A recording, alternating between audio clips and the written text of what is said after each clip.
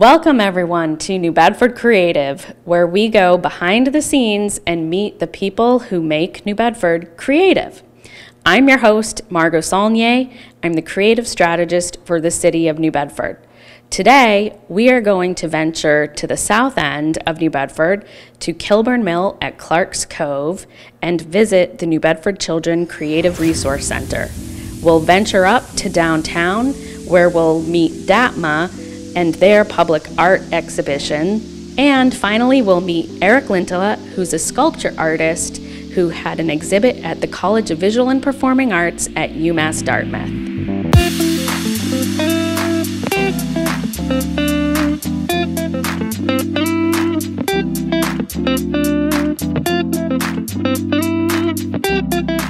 Am here with Marissa Fay Martin, who is the Executive Director for New Bedford Children.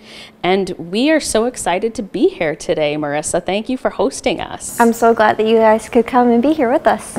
So, I would love to hear about the inspiration for creating a space like this. It's just so amazing. Can you tell us about it? Yeah, so this space is kind of a little bit of many different places that I've been. A place in Denver, there's a place in the city of Reggio Emilia, Italy, there's a place in Cranston, Rhode Island, and then also, you know, a little bit of classrooms that I've been in. And so I pulled a little bit from all of these different sources to make this space, which is very unique. I don't think I've ever seen anything quite like this place.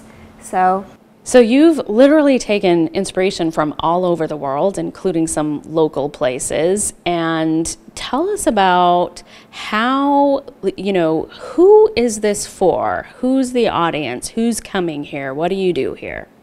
Yeah, so this space is designed specifically for early childhood educators. This is a, a place for them to come and feel supported and to get ideas and materials for their classrooms I want them to feel like they're home when they're here. This is created special for them. That's so amazing. So we are standing in basically an art studio yeah. right now. Mm-hmm. So what are the kind of things that um, that the early childhood educators and and just for our audience, early childhood education is what ages primarily? Um, infants through age six. Okay, great. And so these are educators working with that age group. Mm-hmm. And, you know, as we all know, uh, being creative is an all ages activity, right? Mm-hmm. So, uh, here in the art studio, what kind of things would you be discussing or teaching or reviewing with the educators? So, we like for the, the environment itself in the center to be a teacher in its own way. So we generally have a different um, setup on the table for teachers to feel invited to come over and participate in, the same way that I would set up in a classroom. And so um, they're actively engaging and playing the same way the child does. And so they're gaining that the insights of that experience to understand their students better. And then they also have lots of materials that they can bring back to their classroom with them. We've got oil pastels, paints, color pencils, crayons, markers, um, glue, so much paper, like all different kinds of papers and colors of paper and everything. It's great. So can you actually demonstrate? We have on the table here, it's what do you observe, see, touch, smell? Yeah. So this is a, a setup that I've actually done with my pre-K students in the past. Um, I offer just a piece of white paper and a Sharpie on the table and then different materials uh, from nature for them to look at um, with magnifying glasses. And sometimes I even use a digital microscope set up to a computer so that they can zoom in on different parts of the um, dragonfly or, um, or um, I'm not sure what these are that came from a tree, but I was just told that they're chestnuts. Oh. I don't actually know. so anyway, um, I had ones like this that were very spiky in my last classroom and my students would sit and it says what do you observe? So they can touch it they can look at it very closely they can smell it and then they and then they draw a picture of it. And so um, when i'm pretending to draw like a child i tend to use my left hand and i've watched them draw so many times that i kind of like know what they're drawing especially like this. I've I've literally watched them draw these before. So, you know, they'll be looking at it and then they different children express the texture on it different ways. Sometimes they'll make lines going out, sometimes they make circles and then coming out. Uh, yeah, so you can see I added on the stem. And I might ask the children what they think this is. Uh, we might have found this together on one of our walks and they can um, add their own hypotheses and then we might look through a book of trees to see if we can figure it out. So while the children are doing this, I would be sitting next to them as you are next to me, Margot, and I would be writing down all of the things that they're telling me and then I would be taking photos of them while they're drawing and then afterwards of the two next to each other. And then this is um, what we call documentation that we would share with families later um, so that they can see how the children are learning and engaging throughout the day. This um, particular piece of beehive has been to different schools with me before and so we've looked in, inside all of those little and sometimes there's little pieces of dead bees. It's, it's really fun. So you mentioned technology. Can we explore other ways you use technology here at the Creative Resource Center? Yes. Um, so one of my favorite pieces of technology to use with young children is a digital projector. And many people think you would just watch um, YouTube videos for kids, but we actually use it to create digital environments. Um, so say it's a rainy day outside and we want to bring the rain into the classroom, we can project a video of rain. Or if the children are playing with um, toy sea animals, we can project um, an aquarium up on the wall and the children can engage with it as if they're um, in the water. Awesome. Is yeah. that something you can show show me now? Um, sure. All right, let's go.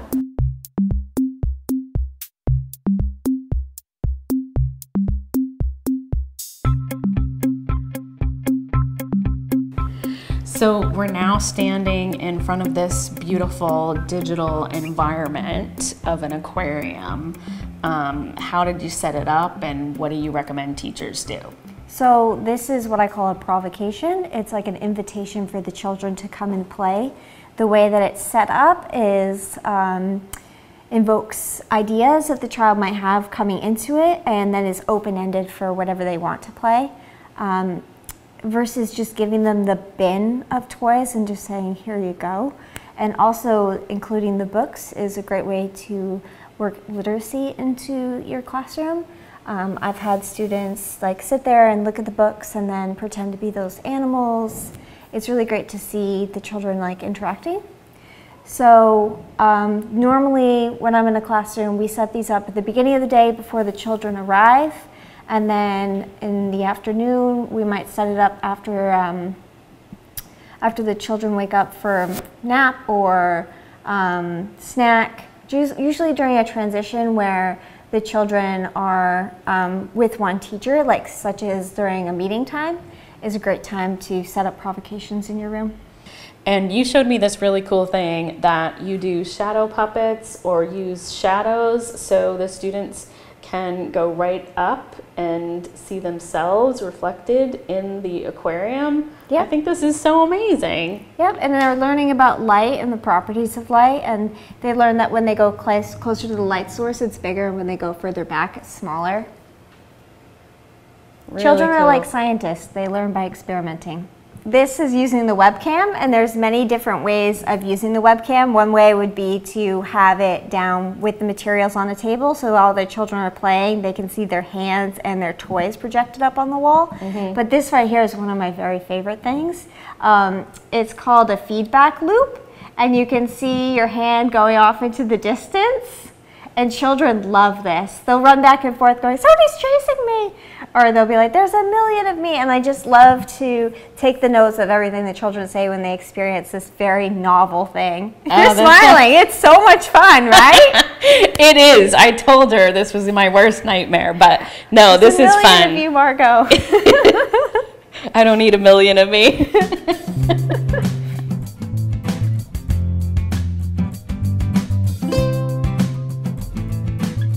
So tell me about this section. What are what do we do here? So this is a sort of dramatic play provocation.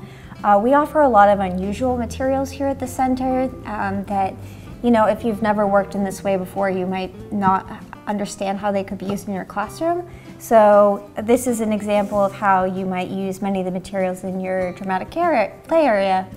Oftentimes when you're in the classroom, you'll see um, a plastic cucumber and you know um, that plastic cucumber can only be a cucumber but when you offer children materials like this, this could be a hamburger, it could be a plate, it could be a piece of chocolate, like there's just endless, whatever the children use their imagination for it to be.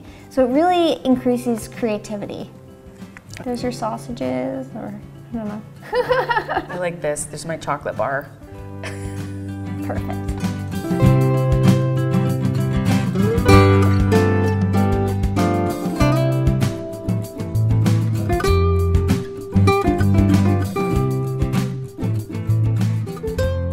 So I love this area. It seems like a little shop to me. Can you, what is this and how do you, how do the teachers use it? Yeah, so this area of the room is for the shopping for the materials that they can bring back to their room.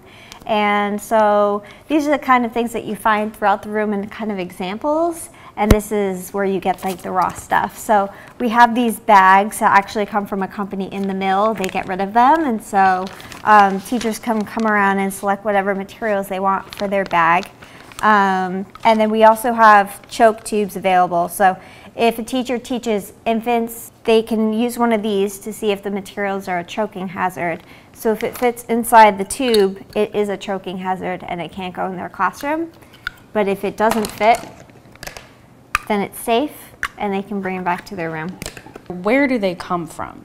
So most of these materials are donated from different sources. These come from tile companies and flooring, so they're uh, examples of what the laminate flooring or countertops would look like. Mm -hmm. um, and then we have buttons. These are buttons that were donated by members of the community. We've been having a lot of people come by and just dropping off bags of things. And what are the tubes on the floor here? So these tubes came from a manufacturing company here in the mill actually that creates belts and so these come with the thread on them and then once all of the thread is gone they're left with these. Um, before I started asking for them they were just throwing them away. So Wow. So a lot of upcycled materials yeah. here are are perfect for Yeah. Yeah, that's great. So this work is not only great for the classroom, it's also great for the environment. And how does it work when teachers come in? What is do you have a membership? does it cost anything? Yeah, so we do have memberships, and because of the grant, we were able to give every early childhood teacher in the city a free membership. So when they come in, they get their membership card, fill it out, and we put them in the system. And then they get pretty much everything for free. The workshops are free. It's great. Wow. So you have workshops, they can come and learn about the different materials. Can they go shopping for free or does that cost something? Nope, that's free too. And they can take out books from our library.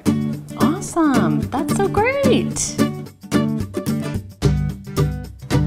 Loving this library here, very creative, and it's clear to me that it's been curated by you. So how how do you choose the selections that are here?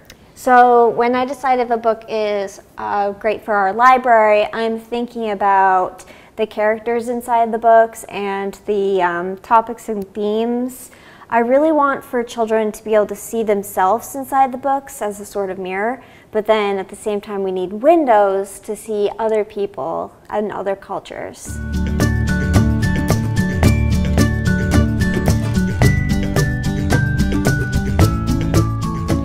Thank you so much, Marissa, for giving us a tour of this amazingly creative space. I'm wondering, can the general public come in or is this primarily for teachers? It's primarily for teachers, but people are welcome to come in. We're in the mill, so people are constantly walking by and going, what is this? And I welcome them in and they take a look around and um, always leave excited. So. Excellent. And if anyone has any donations, materials to donate, yes. or are you looking for anything in particular? Um, you never know what's going to be a good fit for the center. So give us a message and we'll see if it, if it works. Great. Thank you so much. Yep.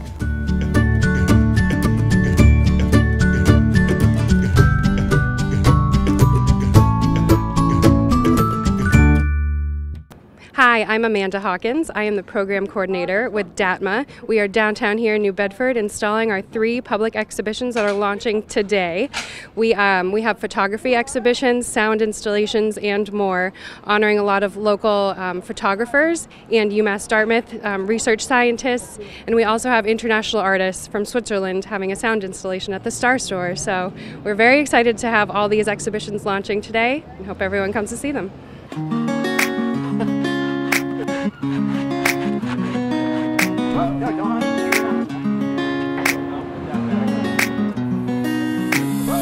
Hi, my name is Alex Gavush. I am a graduate of Voc Tech, uh, class of 2021, and I'm in here here today installing these art pieces.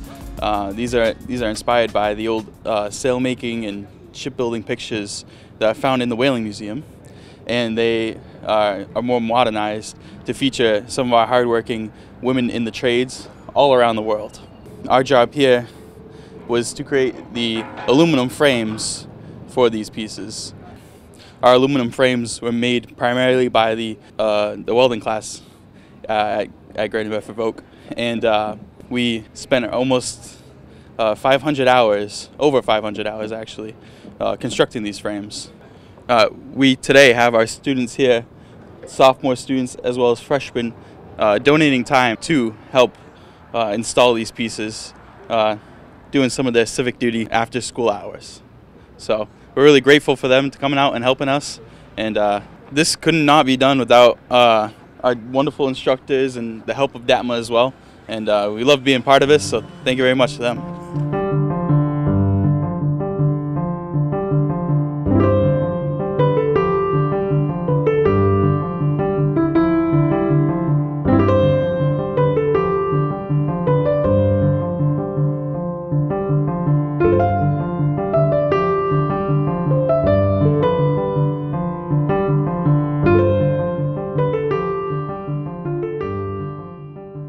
I'm Lindsay Misch, and I'm Executive Director of Massachusetts Design Art Technology Institute, also known as DATMA.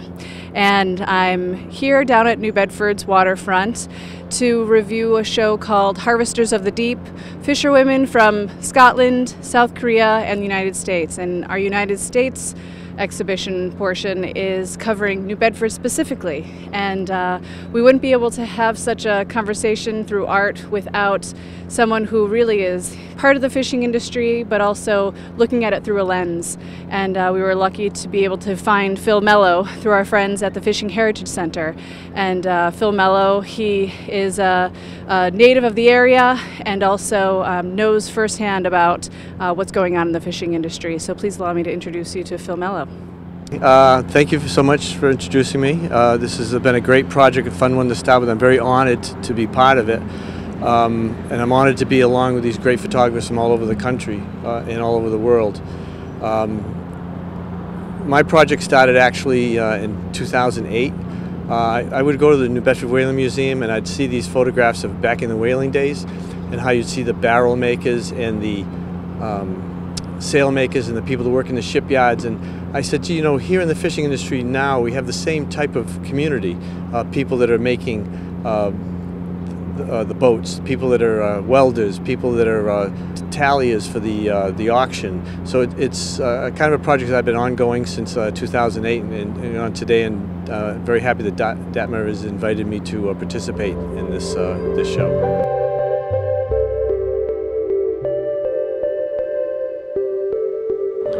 So here are a few photos that I did.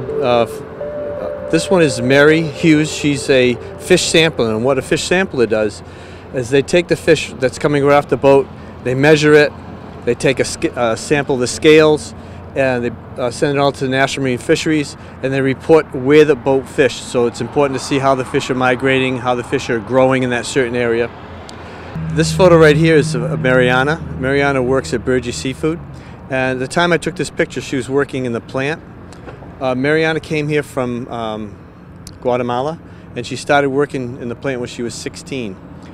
Things changed. She would do every job in the plant. She knew how to cut fish, she knows how to pack the fish, she knows how to put particular orders up, and um, eventually we had an opening in the office. So I told the owners of the company, I said, I'm going to bring her from the floor in the office because she knows the whole operation. And now she's a salesperson at, at Bergie's Seafood. I believe she's 26 years old now, and she has a, a family here, and she's one of the hardest workers I, uh, we have there at the plant.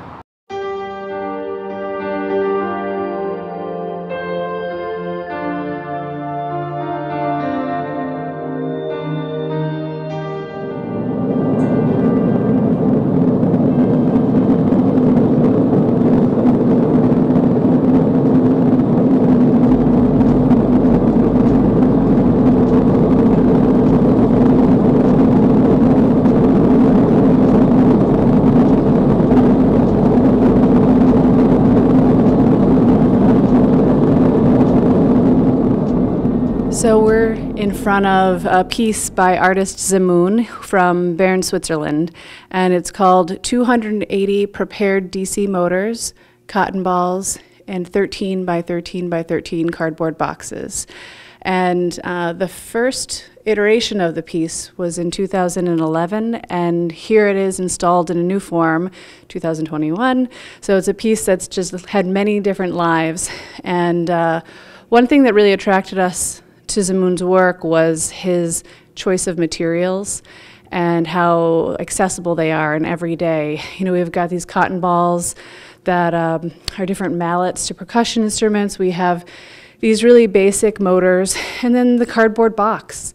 And uh, you know, by exploring different materials, uh, we just were so captivated by the fact that it really goes to show that you know, if you approach a material or or uh, with an artistic with an artistic creative uh, intention, that anything can be art.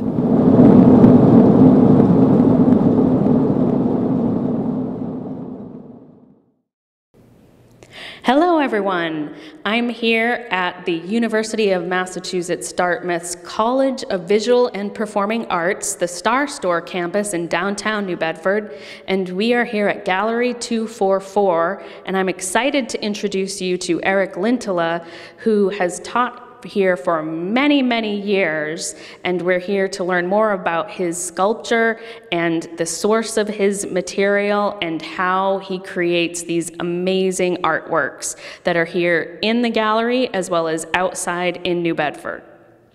Eric, can you tell us about your exhibition here? Uh, it's a combination of photographs and sculptures. The photographs represent all the sources of inspiration uh, in which I created these works, which mostly are of uh, metal, bronze, steel, and also as well fiberglass and some wood. Um, the photographs themselves I've taken myself on uh, journeys that are mostly uh, in the American Southwest for the past, good Lord, at least almost 40 years going out there.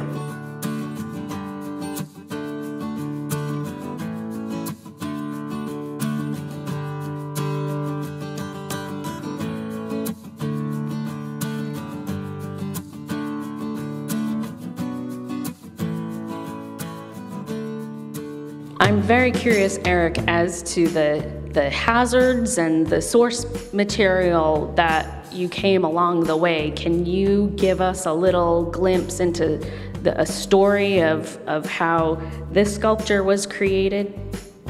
Uh, this sculpture is called Close Call in Canyonlands, and the image are of two hands, and those are actual casts of my hands with emphasis on my lifelines. And as you can see the imagery, we have this figure with the horns pointing at my one lifeline. And here you see another shaman type image that has a head of an owl with a bird flying overhead. this one with the bird overhead emphasizes life, and this is death. Okay, what about this one here? This image is a detail of the white shaman shelter. This is on the Pecos River, that's in Texas, just off of the Rio Grande. And it's one of the most famous pictograph sites, which are paintings in the cave walls in Texas. And this depicts a floating shaman with uh, a magic wand, and he's what is said he's trying to bring on the spirituality of bringing water to the tribe, to the crops, to the village. The title of this work is called Question of Balance, and I would love to hear the story behind this piece. Now, this piece comes directly uh, from a rock art carving that I saw in Arizona.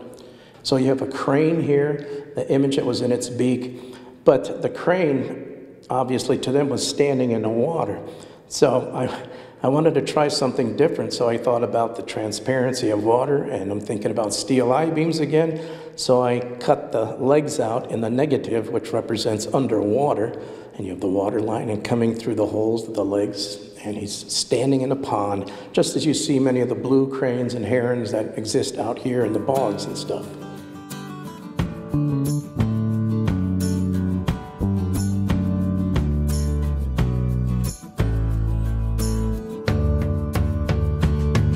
The two photographs here are of shaman uh, that are in Seminole Canyon, which is in South Texas along the Rio Grande.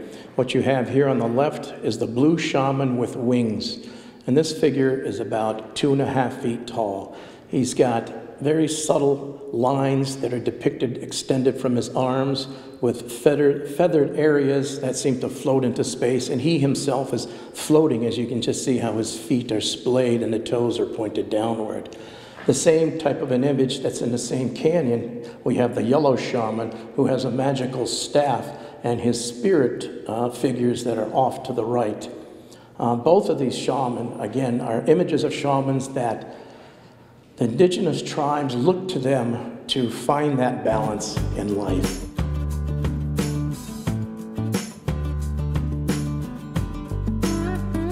These two photographs, uh, they're both titled The Ghost Panel, and this is in Sego Canyon in the middle of Utah.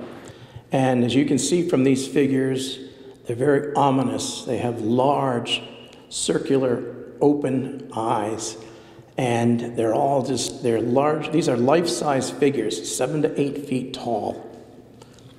And a lot of times they've been written about as the uh, infamous aliens that came to this planet long ago and had inspired man in some way, shape, or form. People saw things back then, and what they saw, God only knows. But they're haunting. Some of them are very beautiful, some are scary. Um, but one has to really think what were they experiencing for them to have created such imagery as these godlike figures, space type figures. God only knows who these spiritual beings are. So that's what I've been trying to capture in all of my works, and that is where the white cylinders have come from. That then my images surmount them, because I was trying to, how do you elevate your thought, your image to such a level that brings that experience? And it's putting them on a, let's say, a high pedestal, and the pedestals are usually tapered and they're white. And that's just that uplifting spiritual concept I've been thinking about. And then I surmount my images that I depict from what I experience, from what they've uh, derived and what they might mean. And I come up with some, a lot of times, these my own images. These, there are very few images I create that are duplicated from what's on the walls. But a lot of these are based on my own experiences that I've had out there.